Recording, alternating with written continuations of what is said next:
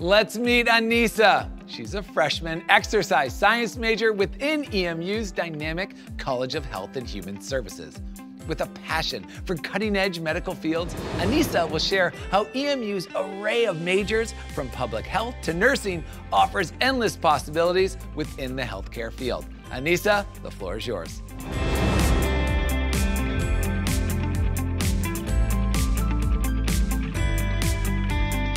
Thank you for the introduction, Alex. Growing up, I always knew I wanted to help people out. I wanted a field that combined art and medicine. I found my calling with prosthetics and orthotics at Eastern Michigan University, where I can learn from the experts.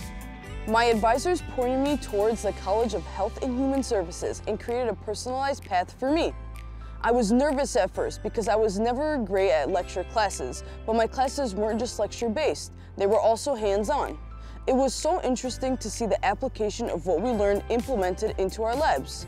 Right now, I'm working on crafting a prosthetic using a mold of a previous patient's residual limb. It's a hands-on process where I handle everything from casting and molding to fitting the prosthetic.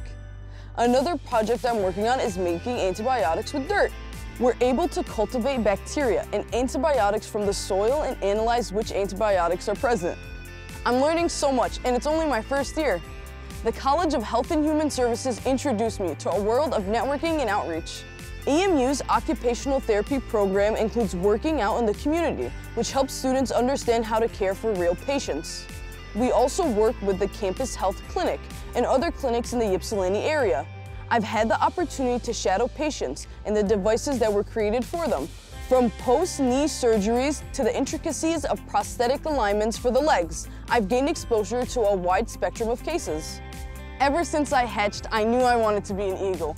It's not just about learning and absorbing knowledge, but it's about connecting with those around you and gaining those experiences that makes Eastern, Eastern.